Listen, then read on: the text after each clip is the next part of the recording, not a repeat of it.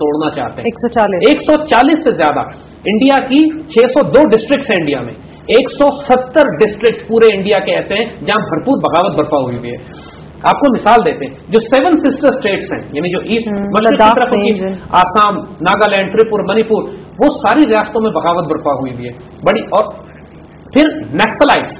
यानी इस वक्त इंडियन प्राइम मिनिस्टर ने पिछले दिनों ये स्टेटमेंट दिया है कि इंडिया की फेडरेशन को सबसे बड़ा खतरा नक्सलाइट बगावत से। नेक्सलाइट कौन है? जो लोग नहीं समझते उनके लिए जी हम वाजे करते हैं। नेक्सलाइट माओइस्ट है माओइस्ट कॉम्युनिस्ट है और ये इंडिया की पूरी सेंट्रल इंडिया में यानी ऊपर बिहार से लेकर नीचे तमिलनाडु तक दी इंटायर इंडियन बेल्ट इसको ये रेड कॉरिडोर कहते हैं। यानी ये सुर्ख कॉरिडोर है इनका सुर्ख पैसेज है। जो माओइस्ट जहां- ideology जो से- माओइस्ट आइडियोलॉजी से मुतासर है और भरपूर बगावत बरपा है। यानी वो जंगल भी रस्ते में जंगल है इलाके घने हैं गरीब लोग हैं। और कैफियत ये देखिए इंडिया में ऑलमोस्ट एक अरब की आबादी है। पचास करोड़ से ज़्यादा अफराद वो हैं कि जो गुर्बत की लाइन से नीचे below the poverty line below the poverty line डेढ़ लाख के करीब किसान हर साल खुदकुशी करता है वहाँ पे। हमारे यहाँ लोग अपने गुर्द, एक गुर्दा बेचते हैं गुर्बत के मारे। इंडिया में गाँव के गाँव बिकते हैं।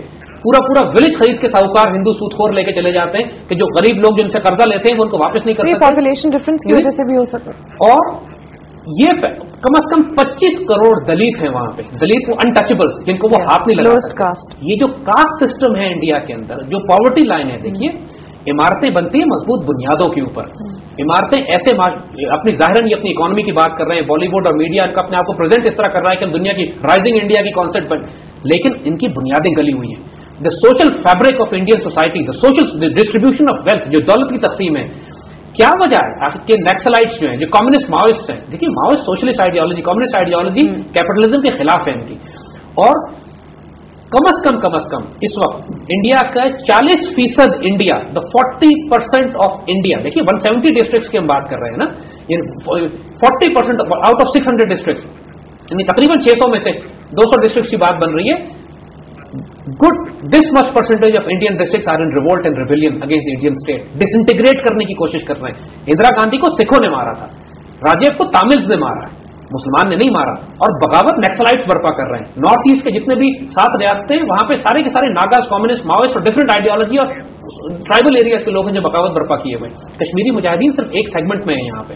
140 militant groups but they more highlighted all the time we just hear about them जो सबसे बड़ा क्रेडिट जाता है इस बात का कि दुनिया को पता नहीं लगता ये इंडियन मीडिया की कमाल है। देखिए Indian media they are very strong media they have और उनका मीडिया बड़ा नेशनलिस्ट है।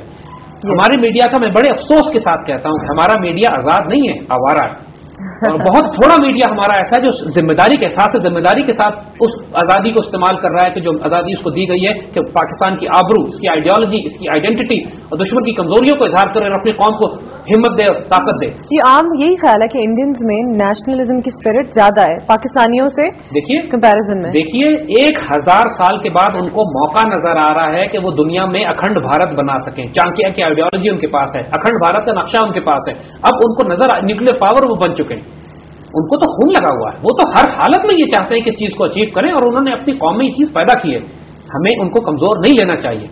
किसी सूरत में भी। लेकिन साथ साथ हम अपनी कौम को यह भी बताएँ कि अल्लाह के फजल से हम भी कमज़ोर नहीं है। उनके अंदर इतना फसाद बरपा है कि अगर इंडिया ने थोड़ा सा भी, कुछ वक्त और बात, ये बात मैंने नहीं कही जैसे हमने अर्ज़ किया फोर्ब्स ने कहा ये बात, कि अगर यही सोशल डिस्ट्रीब्यूशन रही इंडिया में, यही फसादात रहे, यही नक्सलाइट की बगावत बरपा रही, यही नॉर्थ ईस्ट में प्रॉब्लम रही, यही मिलिटेंट ऑर्गेनाइजेशन इंडियन फेडरेशन से अलग होने के लिए बगावतें बरपा करती रही।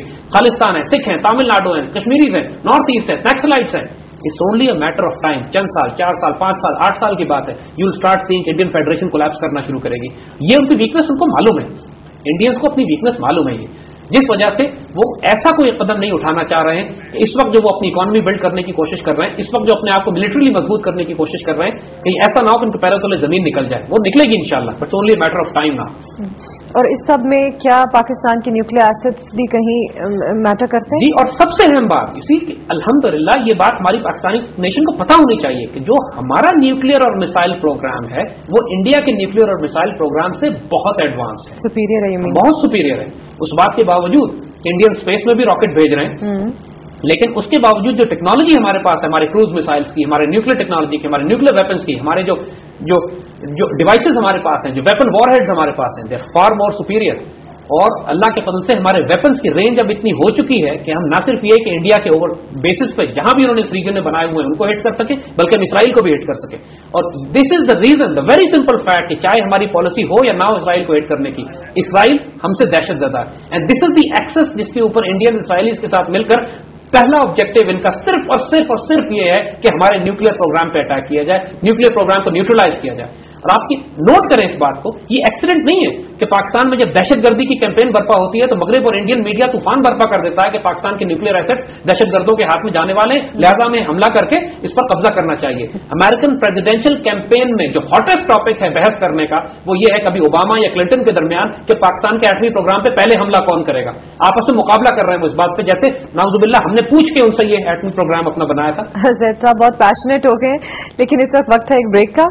हम हाजिर होते हैं ब्रेक के बाद।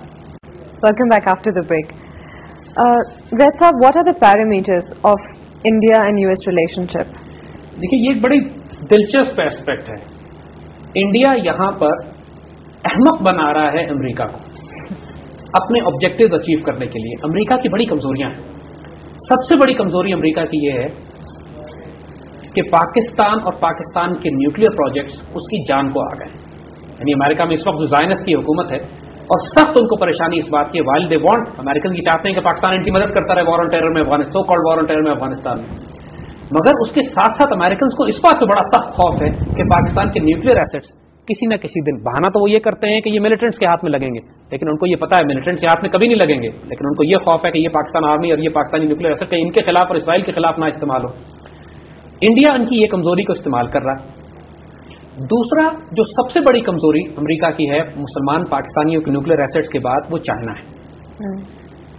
अमेरिका इंडिया को तैयार करना चाह रहा है चीन के खिलाफ लड़ने के लिए to use them as a front line state against China India ने अमेरिकन से कहा भी यही है कि अगर आप हमको न्यूक्लियर टेक्नोलॉजी दें अगर आप हमको वेपन्स दें हमें टेक्नोलॉजी दें हमें डेवलप करें हमको एक रीजनल सुपर पावर के तौर पर उभारें और तैयार करें तो हम चीन के खिलाफ आपका साथ देंगे। What is the main देंगे कभी भी नहीं बेवकूफ़ बना रहे हैं। और is the main point of friction between India and China?